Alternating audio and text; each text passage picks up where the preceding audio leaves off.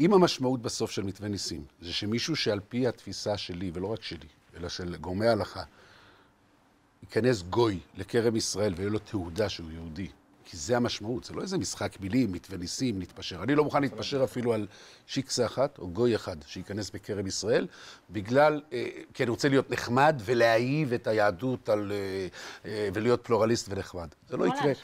אני לא יתיר, אני לא יתיר, לא, היא לא, היא שיקסה. היא גויה. כי היא מתגיירה גיור צה"לי, היא לא יהודייה. אבא שלה בהגדרה הלכתית. אבא שלה היה יהודי ואימא שלה הייתה. גויה. יכול להיות שאבא שלה לא, היה לא. סירוב מכאן. אז את ביקשתי אולי לא מודעת לזה. לא, הוא היה, חסידי אומות העולם, היא הייתה, היא חסידת אומות העולם. בסוף, אבא שלה יהודי, אימא שלה גויה, היא לא... אין לה יחס לאבא שלה, יש תורת ישראל שלא מתחלפת, שמשה לא רבינו הוריד בהר סיני, היא גויה, גויה גמורה.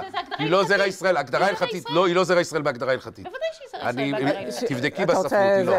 היא לא זרע ישראל בהגדרה ל- הלכתית, אני רוצה בעצם לחדד, כי הנושא הזה הוא- קריטי, זה לא- זה לא משחק מילים. קריטית, היא לא יהודייה בהגדרה.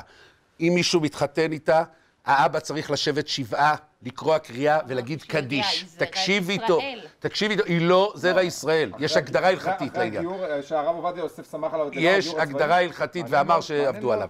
יש הגדרה הלכתית, יש הגדרה הלכתית. ואני אומר לך שאני אבקש ממנו להדליק אש בשבת אצלי בבית. אני מודיע לך, וכך אמר לי הרב אלישיב לעשות. אבל אני רוצה, אני רוצה לומר עוד,